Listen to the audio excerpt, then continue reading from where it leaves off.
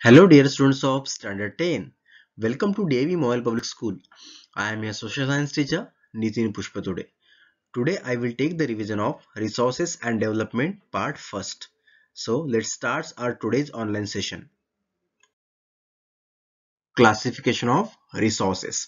Okay, students on the basis of origin, resources are classified into two types, biotic resources and abiotic resources. Biotic resources these resources are obtained from biosphere.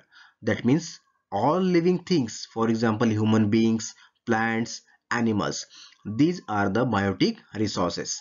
Second, abiotic resources. These resources are composed of non-living things. That means all non-living things, for example, soil, rocks, metals, winds, etc. These are the abiotic resources. Okay, students, on the basis of this portion, one question is given here. Explain biotic and abiotic resources. So this is the important question for your exam. You have to write the answer of this question. On the basis of renewability or exhaustibility resources are again classified into two types renewable resources and non-renewable resources. First renewable resources. Renewable resources are also known as inexhaustible resources Resources which can be renewed either naturally or by human efforts are known as renewable resources. For example, solar energy, air and water. Second, non-renewable resources. Resources which take millions of years to form or renew are known as non-renewable resources. These resources are also known as exhaustible resources. Students, these resources cannot be renewed. Okay, energy resources such as coal, petroleum, natural gas and the other minerals are the example of non-renewable resources. Students, on the basis of this portion, one question is given. Distinguish between renewable and non-renewable resources. This question also important for your exam. Then next, on the basis of ownership, resources again classified into four types. First, individual resources. These resources are owned privately by individuals. For example plantation pasture land farmland water in well pond etc second community owned resources. These resources are accessible to all the members of the community. For example grazing grounds burial grounds ponds in village then public parks etc these are the community owned resources. Then national resources. Students one picture is given here a railway. It's a national resources. These resources are under the control of nation or country. For example, canal, coal mines, railways, etc. Next one, international resources. These resources are owned and regulated by the international institution. Okay, so these are the types of resources on the basis of ownership. On the basis of the status of development, again resources are classified into four types First, potential resources. These resources are found in a region in abundance but have not been developed properly. For example, solar and wind energy in Gujarat and Rajasthan. Then next, developed resources. These resources are surveyed and quantified for the utilization through the available technology. For example, coal, petroleum, etc. Then next, stock. These resources have the potential to satisfy human need the required technical knowledge to use them is not developed. For example, hydrogen and oxygen in water can be a rich resource of energy. Next one, reserves. These are the specific stocks for which appropriate technology is known how is available.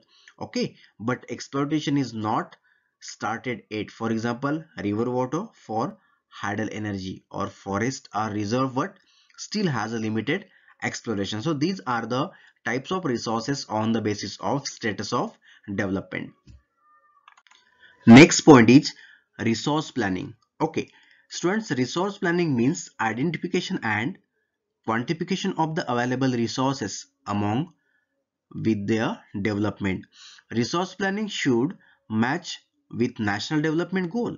In India, the resources are vast but their development is insufficient or they are distributed unevenly. Some examples I am telling you. Listen, States like Jharkhand, Chhattisgarh and Madhya Pradesh are rich in coal and minerals but lack of the technological and the other things okay institutional support lack of the technological and institutional support it's not developed properly yes second arunachal pradesh has abundant water resources but lacks in infrastructure development okay students i am telling about the process of resource planning. One question is given here. What are the three stages of resource planning in india? Listen i am telling some process about the planning of resources. First identification and inventory of resources across the region of country. This involve surveying mapping qualitative and quantitative estimation and measurement of the resources. Second, planning of planning for resources development using appropriate skill, technology and institutional setup. Then third one, matching the resources development plans with the overall national development plans. In India, followed the policy of resources planning from the very first that means in the first first year plan okay that means during the 1951 to 56 uh, in that time. That means during that time. Okay students so these are the process of resource planning. These are the three stages of the resource of planning. Again students one question is given here. Planning is widely accepted strategy for judicious use of resources in a country. Justify this statement with the example. So students you can write the again the same points here. Planning is widely about that planning. That means the process of resource planning Next point is sustainable development. Okay, listen. Sustainable development means development that takes place without damaging the environment.